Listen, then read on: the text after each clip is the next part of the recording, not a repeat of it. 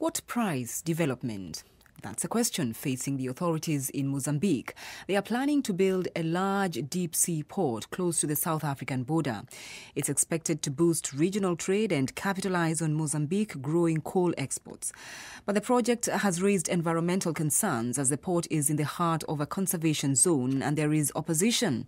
Paul Dutton is a Durban based environmental consultant is the destruction of a unique conservation area that has been proclaimed for many, many years. It's called the Maputo Elephant Reserve. The magnitude of development that is proposed will have major impact on a unique game reserve, also in an area that Swaziland Mozambique and uh, South Africa agreed to a trans-frontier project. Now, this project, the, the harbour and the development will destroy that initiative. That is to join the three three countries up in a, a bid for ecotourism through trans-frontier national parks.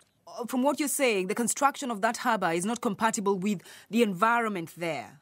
Absolutely not, uh, because we know so little about the, the project. What they've got to do is to institute an environmental impact assessment, which calls for a pre-feasibility study. So it must be open for debate. What at the moment we're not having that debate. The Mozambican government, however, says they have taken good care to make sure that uh, their role, their social responsibility, all those issues that you might be raising have been taken care of. Not at all. This is what we're waiting for. We're waiting for some information from the Mozambique government with regard to their proposal.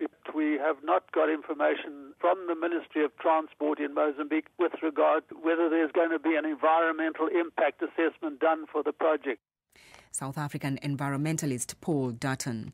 Well, I called up Mozambique's Minister of Transport and Communication, Paulo Zucula. Why is the country going ahead with the project?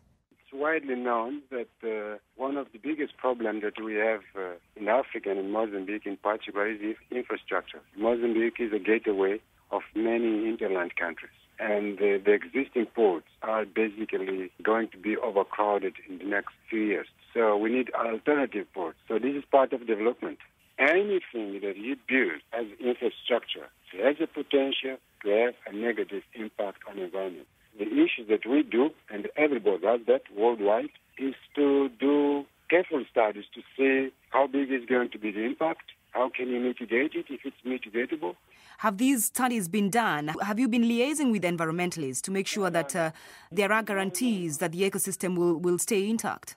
The port we're talking about, it's at real at concept level. So no big study has been done yet. So, so, so this agreement for this new port, uh, this one has been signed without all those studies being done. And can you clarify that for us, please?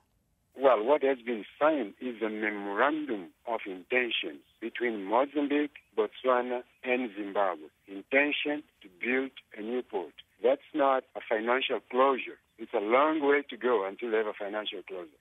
If it is found that this construction or this uh, port will have a negative impact on the environment, is there a way that it can be halted from continuing? If anybody has done it already and has a vision on it, we will be glad to look into it, share with us, and it will, it will help us to take the, the decision.